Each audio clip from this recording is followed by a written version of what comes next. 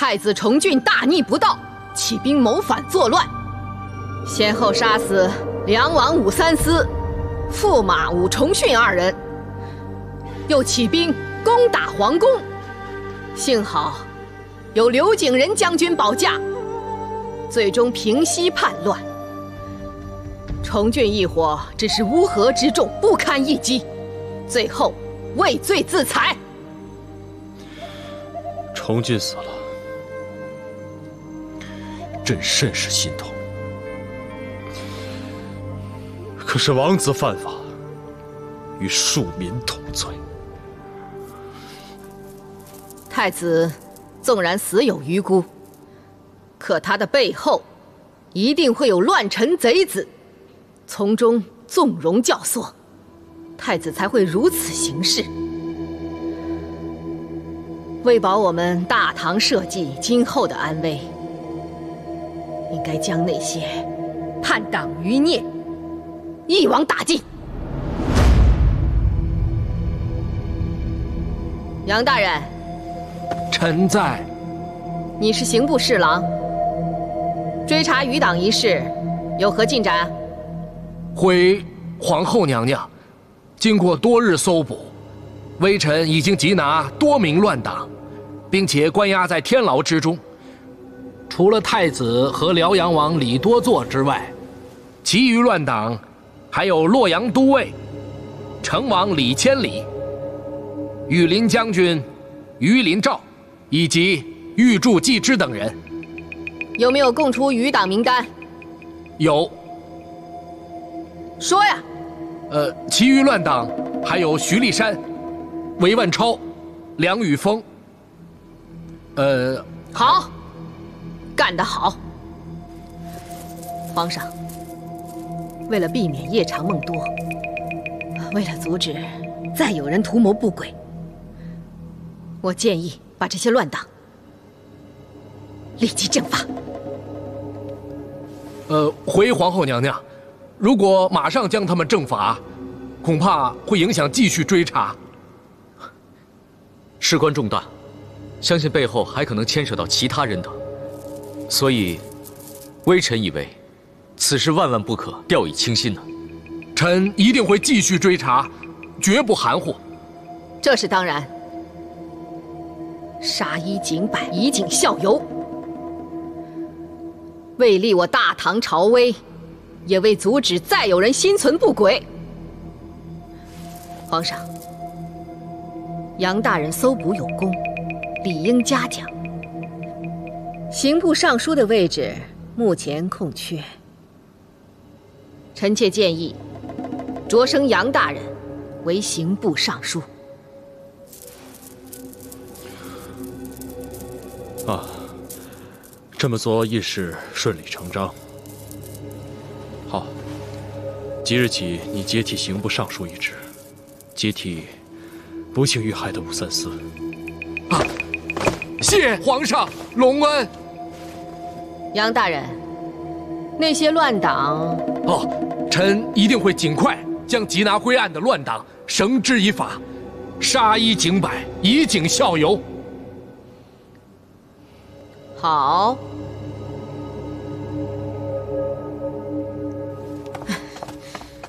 今天竟然白白放过了太平和隆基父子。这只怕是放虎归山，后患无穷啊！母后为什么不追究下去？哎呀，女儿啊，女儿，那个徐立山是你舅舅的老下属，那个韦万超又是你姨母的干儿子。至于那个梁宇峰，他虽然是个老学究，可他是你爷爷的故友。这些人七七八八来来去去一算，多多少少都跟我们韦家有些联系的。母后的意思是说，有人想跟我们一样，存心想利用此事把我们给拖下水。恐怕我们再继续查下去，还不止这些人呢。眼下不是太平姑姑，就是八皇叔父子，已经把他们给拉拢了，然后来对付我们。唉，所以呀。我只能壮士断臂呀！哎呀，我是白白的放过了一次剪除他们的好机会。这次实在是低估了他们。事到如今，现在已成定局，已没有办法了。再从长计议吧。如今的当务之急是太子之位不能一直空着，要尽快的说服父皇，立我为皇太女。这样一来，对付姑姑和八皇叔他们，也会对我们有利的。小马，谢谢你。哎，你你这是什么意思啊？我帮你们姐妹俩不是一次两次了，你知道我从来不收这个的。就是因为不止一次两次了，我们姐妹俩多番受你恩惠，这个呢也不是什么值钱的东西，你就收下吧。嗯，好吧。孟福知道太子死了，他怎么样？他没什么，不过我总觉得他在我面前逞强。毕竟太子无端死掉，而且他也怀有太子的骨肉。这，小马。哦，哎呀，小马，鲁公公，鲁公公，啊，孟凡也在啊。小马，快替我去趟上药局。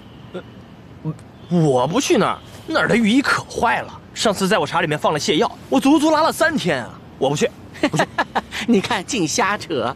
婕玉娘娘身体不适，赶紧去请张御医来给洁淑娘娘诊断一下。婕玉娘娘不是一直由刘御医服侍的吗？呃，刘御医死了，听说是服毒死的。可是好端端的，为什么会这样？哎，呃，刘御医跟太子关系甚是密切，恐怕这次太子策反呢，他怕受到株连，所以呢，服毒自杀了。嗯，你说的也有道理。哎，刑部检查啊，在刘御医那里留有一个紫河车，嗯，相信不久前有人滑过胎。那会不会跟他的死有关？皇后娘娘已下令刑部将一干叛变的人问斩，刑部好像也不追究这个事儿了。刘御医的死就以服毒自杀结案了。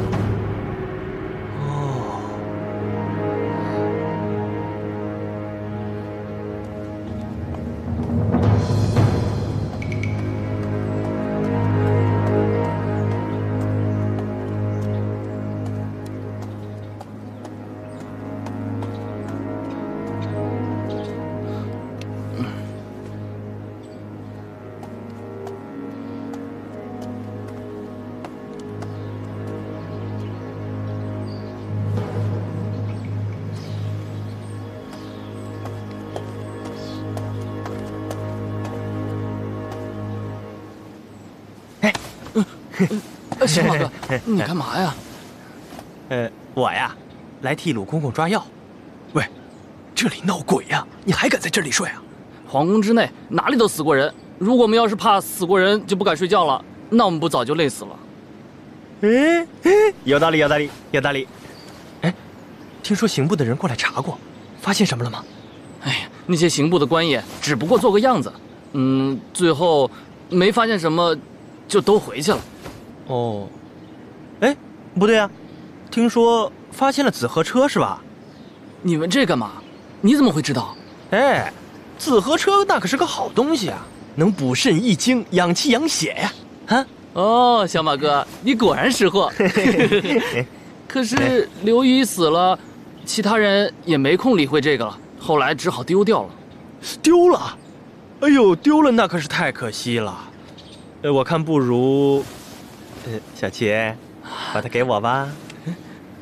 嗯，可以，当然可以。你等着，我马上给你拿去。哎，辛苦你了啊！太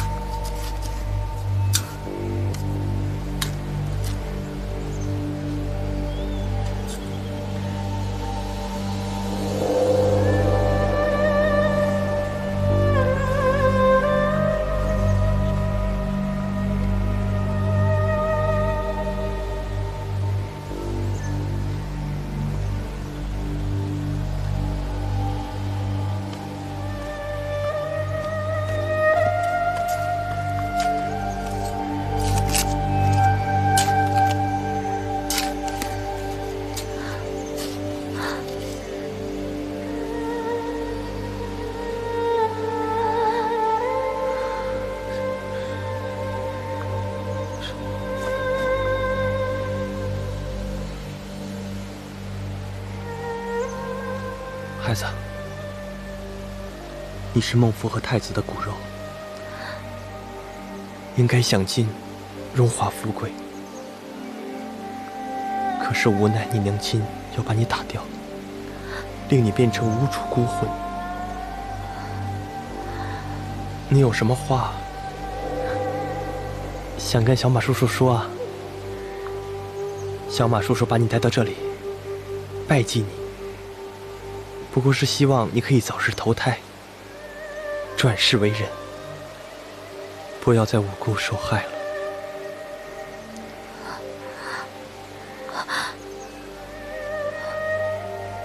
一路走好。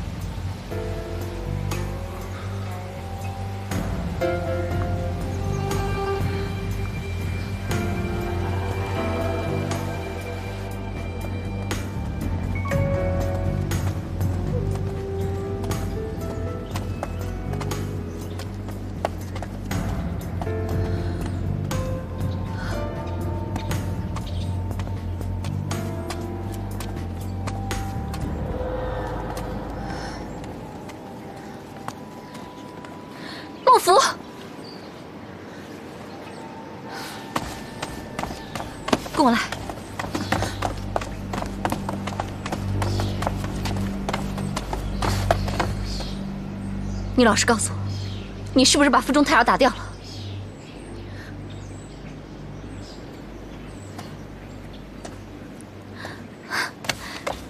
你怎么可以亲手杀死自己的骨肉呢？他的爹爹已经变成了逆贼，我留他活在这世上还有什么意思？还不如不要算了。那么刘玉意呢？你为什么要下毒杀了他？他又有什么罪？你为什么要这么做？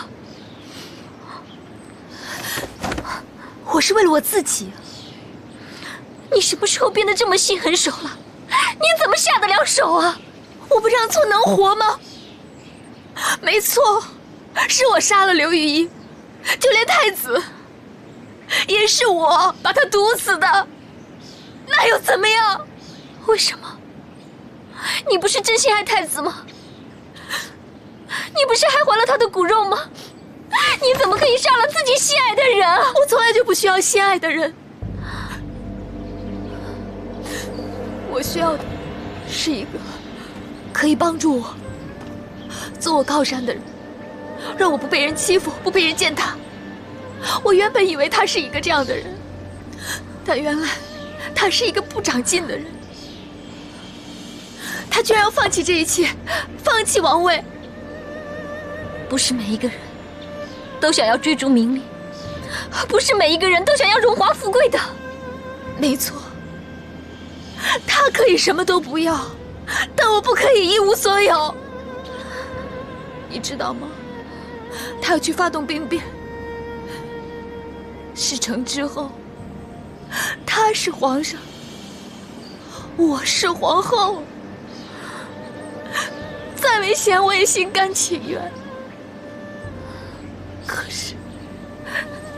他竟然傻到只要清君侧，不要皇位。我知道他会害我失去我想要的东西，所以我不得不这样。那你也不能杀人呐！他不死，这件事就没完没了。他的懦弱，最后会成为我的不幸。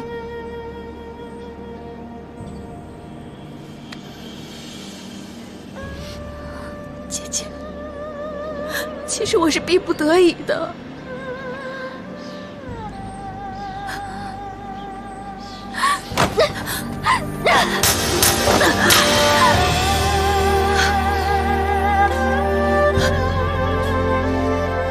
你不是，你是畜生。皇宫之内，有谁不知道这是争夺你死我活的地方？如果我不杀他。那我会死的比他更悲惨。只要可以保命，我宁愿做畜生。你连畜生都不如，我没有你这个妹妹。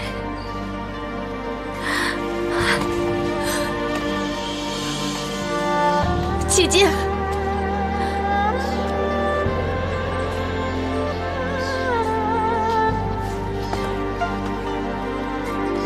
既然你这么说的话，那我也不要像你这样满口仁义道德，却不顾亲情的姐姐。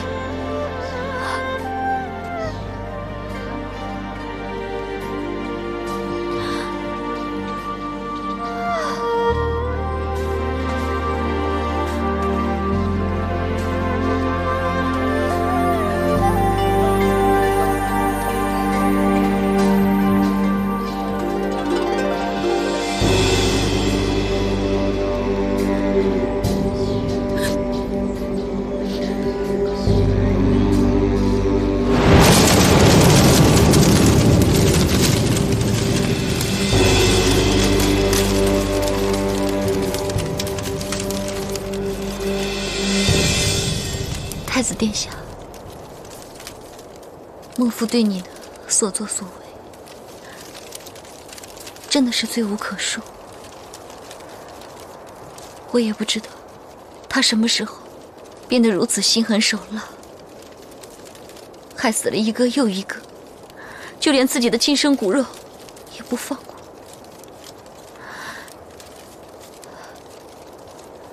太子。我就只有这一个妹妹，我以为无论她做错任何事情，我都可以原谅她。可是这一次，她实在太狠毒。太子殿下，你叫我该怎么做？你叫我到底该怎么做？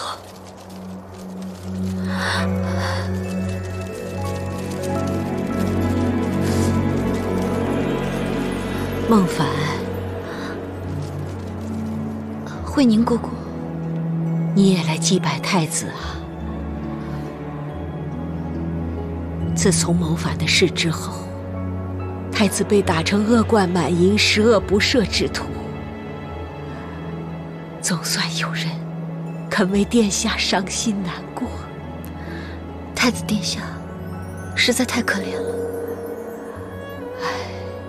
太子只不过是想为皇上好，就落得这个下场。你相信他会谋反吗？太子殿下是一个好人，但是好人偏偏未必有好的下场。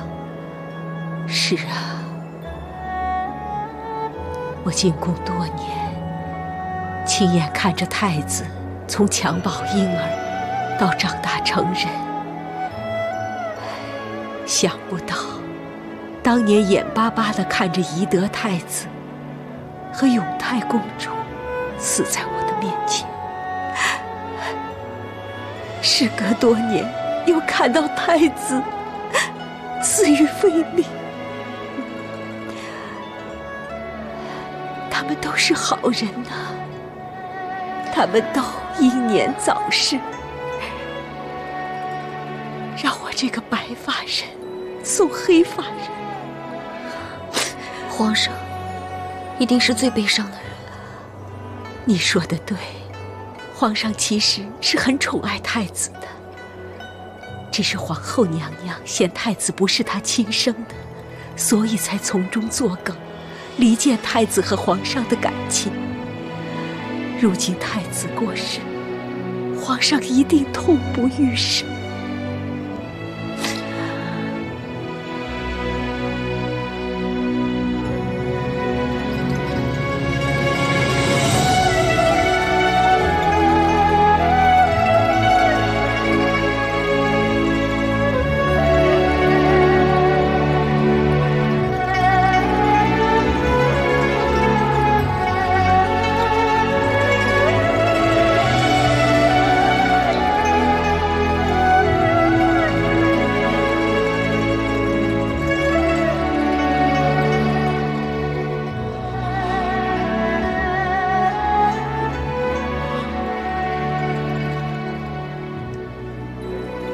这些做宫女下人的，贱命一条，死不足惜。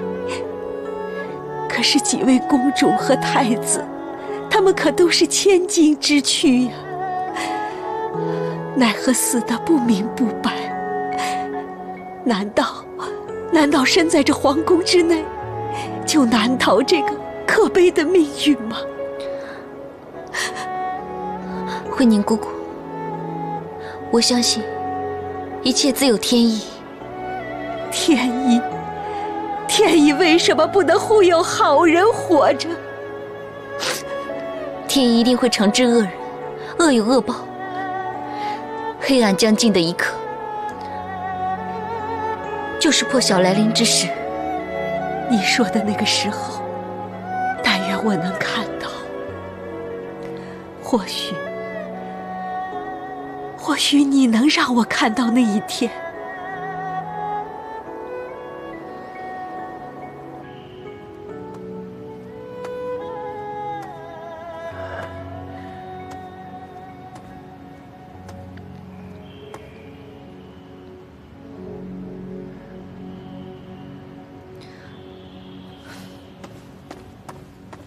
周公公，啊，啊，孟凡。安乐公主命我前来通传，要你速去凤阳阁一聚。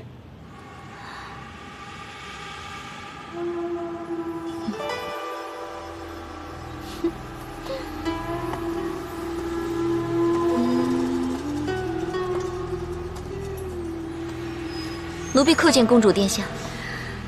你来了，快来帮我推。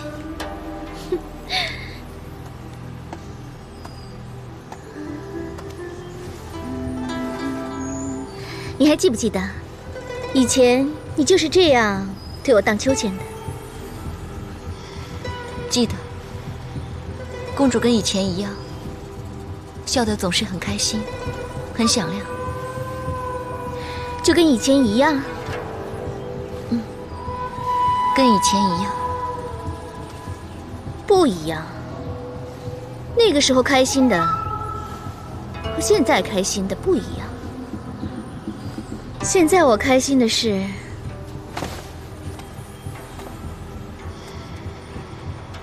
快要看到你不开心的样子了。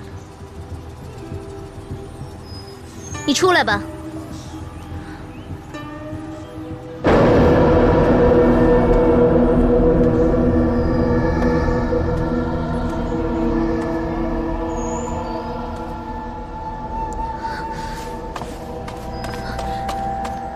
小福，你来这里干嘛？孟福，你干脆告诉你姐姐，你为什么会在这里？我已经是公主的贴身侍从。孟福，做人贵在坦诚，你就将一切都说出来吧。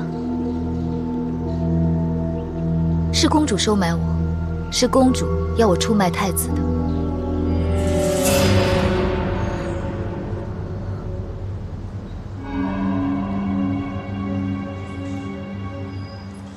原来宫中那一场悲剧，那一切的一切，是你一手造成的。对，你做梦都没有想到，我会做出这一切吧？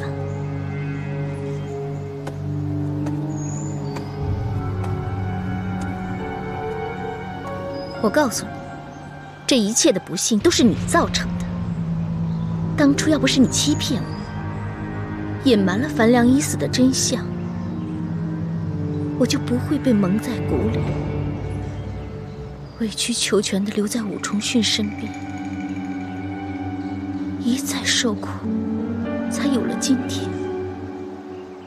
奴婢担心公主，如果公主知道樊良已经死了，公主还愿意活下去吗？公主还会继续活下去吗？如果公主知道樊良已经死了，公主就会陪着樊良一起殉情。奴婢担心公主，所以才会说谎。你看着我为一个不存在的人而过活着，这就是为我着想吗？其实，死并不可怕，被最信赖的人一直欺骗着，这种感觉比死还难受。如果公主认为奴婢之前所做的都是错的话，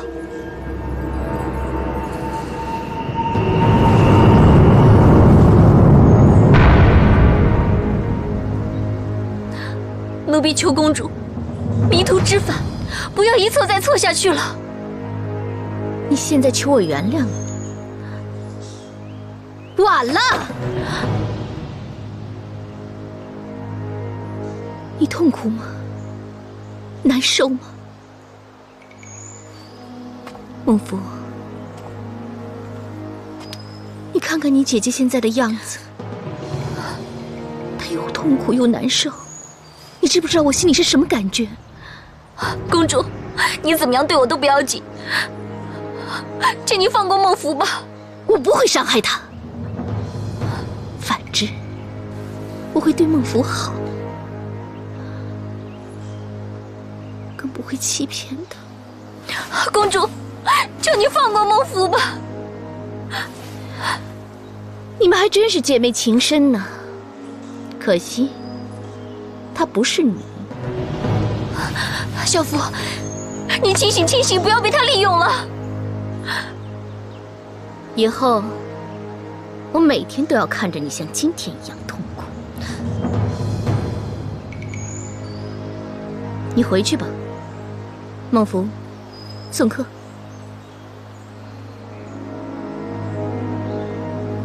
公主，小福，你醒醒吧。小福，你听我说，你不要被他利用了，你快点走啊！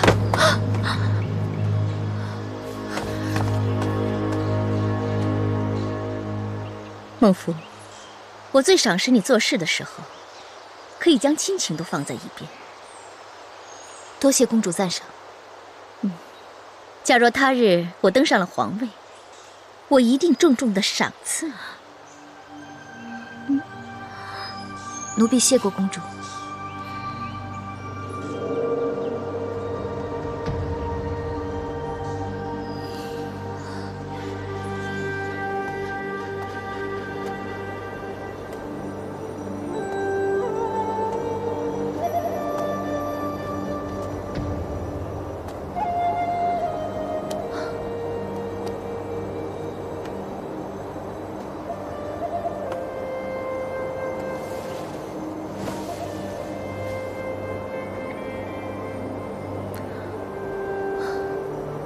老天爷，请你教孟凡，到底该怎么做？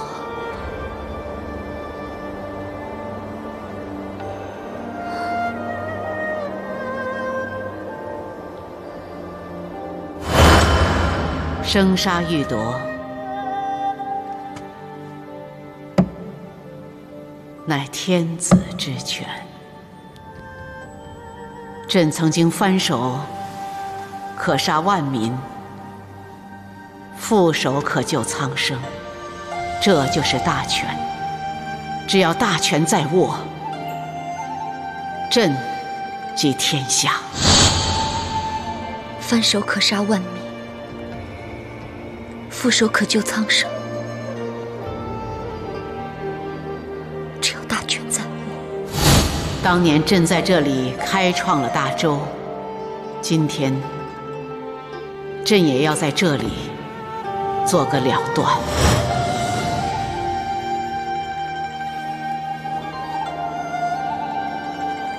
当日我做错了，今日我要亲自做个了断。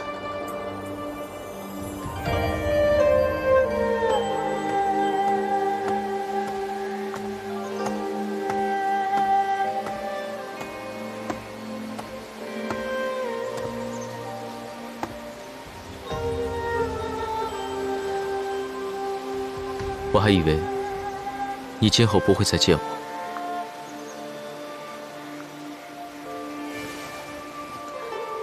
关于太子的事，我不能认同，也不想多说什么。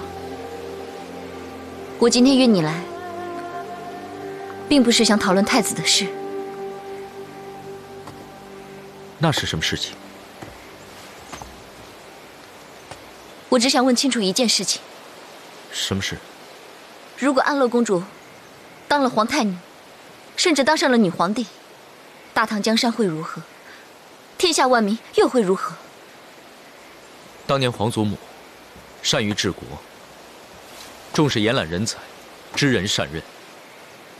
皇祖母当政年间，政策稳定，兵略妥善，文化复兴，劝农桑，博富裕而百姓富裕。安乐公主要跟她相比，根本是云泥之别。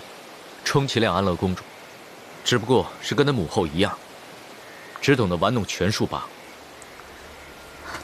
你说过，皇后心术不正，觊觎皇位，终日想当第二个圣神皇帝。皇后心胸狭窄，处处用权。假如让皇后或者公主其中一人当上皇帝，只会殃及国民，而国土四分五裂，社稷岌岌可危。你会阻止他们吗？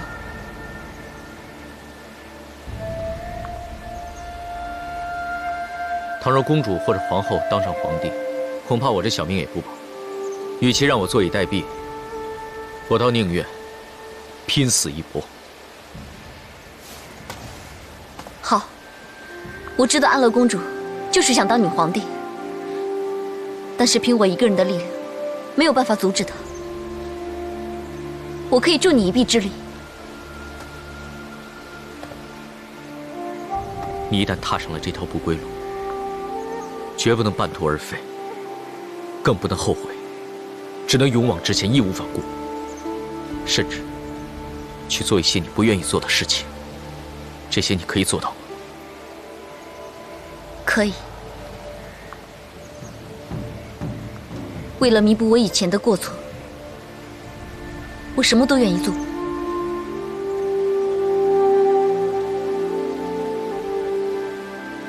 路是你自己选的，我希望你能够想清楚。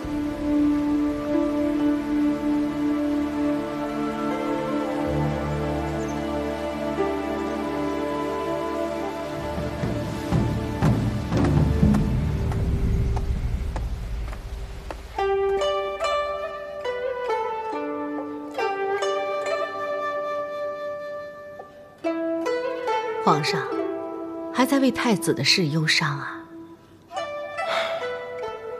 来啊，弹奏乐曲吧。是，奏乐曲。奴婢叩见皇上，皇后娘娘圣安。怎么了？匆匆忙忙的，有什么事吗？啊，回娘娘，刚才宫女在整理娘娘衣箱的时候，一打开，里面飞出了五彩祥云。什么？五彩祥云？哎呀，皇上，五彩祥云呢？皇上，五彩祥云！哎呀，祥云从你的衣箱里飞腾出来，可是祥瑞征兆啊！哎呀，啊，五彩祥云！皇上，臣妾不敢邀功，这可都是皇上的鸿福啊！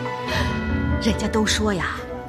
这五彩祥云，可是只会落在对天下苍生有大功德的人头上啊！皇上，你是天子，臣妾虽然深受皇恩，但五伦之别不能不讲啊！即便皇上虚怀若谷，跟臣妾不分你我，可是上天他不会混淆的呀！那有什么区别？这正是你的鸿福，皇后。朕要昭告内外，好让满朝文武与你同贺。哎呀，皇上，奏乐，奏乐。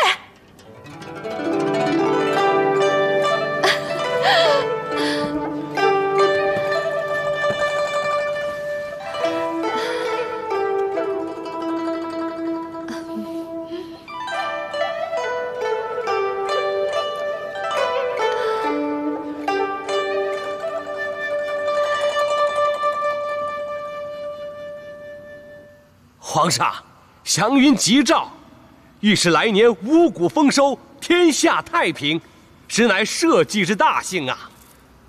皇上乃一代明君，勤政爱民，造福苍生，这是上天给予皇上的恩赐啊！做善降之百祥，做不善降之百殃。如今天降祥云，朕决定大赦天下，恩泽万民，以谢天恩。大唐有此盛世，坐下的百官也功不可没。皇上，臣妾以为应该有所嘉奖。皇后有什么提议啊？皇上，臣妾是皇上的女眷，也希望和百官家中的女眷共荣共乐。皇上不如加赐他们百官母妻等各种封号。皇上意下如何？准宗，庆宁宫出现祥瑞征兆，一定是因为皇后娘娘德行端庄、贤惠宽仁，真不愧是国母啊！皇后娘娘千岁千岁千千岁！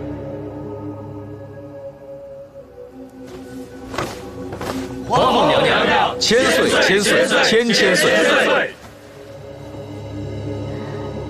平身，谢娘娘。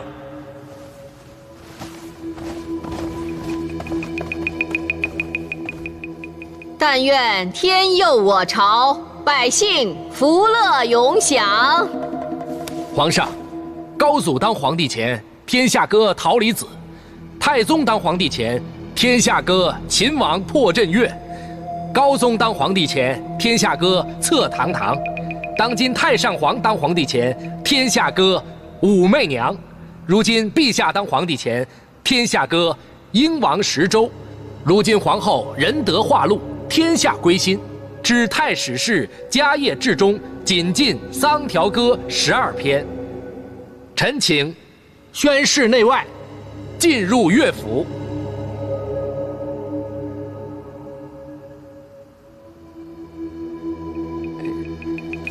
皇上，这些歌都是歌颂历朝帝皇，这皇后终究是皇后，这样的话似乎有点儿。无妨。皇后与朕向来无分彼此，歌颂皇后就如同歌颂朕一样。快将桑条歌流传各地，将皇后的仁德宣示天下，让全国的百姓都知道他们的国母被苍天赞颂。臣领旨。皇上，天降祥云，此乃千古奇缘呐！皇上，臣妾建议，把这些难得的景象，请画师画下来，挂在安乐寺中，让宫中所有的人都一睹这难得的奇景，也好流传后世。皇后所言甚是，照办。